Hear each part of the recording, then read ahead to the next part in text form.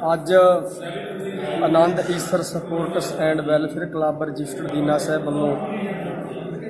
ਗੁਰਦੁਆਰਾ ਜਫਰਨਾਮਾ ਦੀਨਾ ਸਾਹਿਬ ਵਿਖੇ ਦੂਸਰਾ ਜਿਹੜਾ ਖੂਨਦਾਨ ਕੈਂਪ ਹੈ, ਜ਼ਿਲ੍ਹਾ rural NGO block, district Moga ਤੇ block rural NGO Nihal Singh Wala ਦੀ ਸਮੁੱਚੀ ਟੀਮ ਦੀ ਅਗਵਾਈ ਵਿੱਚ ਲਾਇਆ ਜਾ ਰਿਹਾ ਹੈ। ਸੋ ਮੈਂ block rural NGO Nihal Singh Wala ਦਾ ਪ੍ਰੈਜ਼ੀਡੈਂਟ ਗੁਰਚਰਨ ਸਿੰਘ ਰਾਜੂ ਜਿੰਨੇ ਵੀ ਇੱਥੇ ਸਾਡੇ ਖੂਨਦਾਨੀ ਪ੍ਰੇਮੀ ਪਹੁੰਚੇ ਨੇ, ਸੋ ਮੈਂ ਆਪਣੀ ਸਮੁੱਚੀ ਟੀਮ ਵੱਲੋਂ ਦਿਲ ਦੀਆਂ ਗਹਿਰਾਈਆਂ ਚੋਂ ਖੂਨਦਾਨੀਆਂ ਦਾ ਕੋਟਨ ਕੋਟ ਧੰਨਵਾਦ ਕਰਦਾ